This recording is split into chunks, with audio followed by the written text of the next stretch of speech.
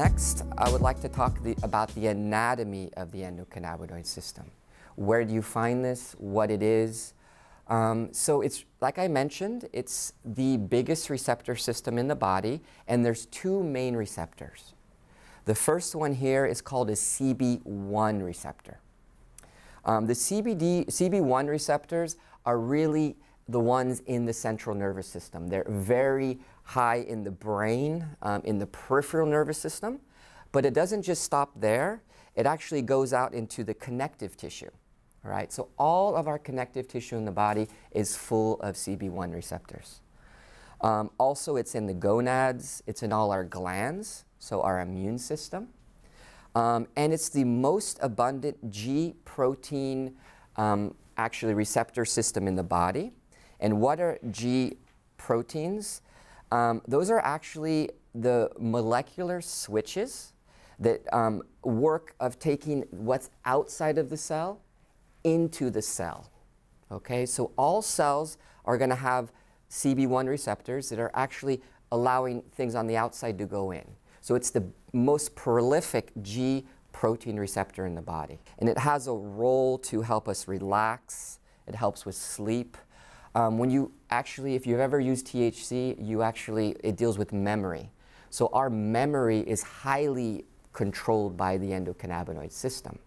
Um, for that reason, we see it working for things like Alzheimer's, right? Um, you know, and, uh, and actually memory in general.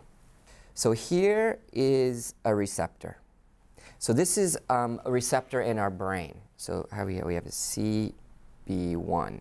So as you can see there, we have all these receptors, and this is really biochemistry.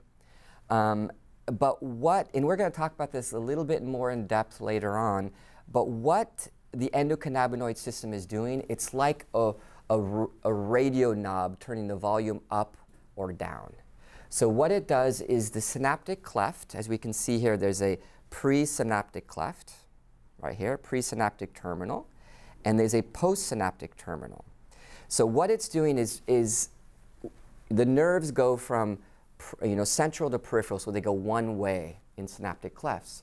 The endocannabinoid system actually turns it up or it turns it down. So it goes the opposite way. So it can go from postsynaptic cleft to pre. Does that make sense? So it's turning up or turning down nerve impulses, which is actually, when you think about it, it's a pretty major thing that something's going the other way. You know, it's not just a one-way system. And what's going the other way is the endocannabinoid system and our endocannabinoids. Again, on the right there, we see the neurons. So we have cannabinoids here, and they work here with our receptors. It's like a key and lock system. So um, these receptors, CB1 receptors, are on all neurons, and the, the endocannabinoids are going to turn them up or turn them down through the receptor network. So that's CB1. CB2 receptors are predominantly found in, immune, in the immune system and its associated structures. But it's not just in the immune system, but that's where it's the most highly concentrated. And again, as you can see, we have these receptors that are bringing these endocannabinoids into the immune cells. The cannabinoids are, are working this way. And of course, phytocannabinoids are doing the same. Right? So if I take a, an herbal substance, I'm working in this balancing system. So those are CB2 receptors. So the anatomy are based on CB1 and CB2 receptors.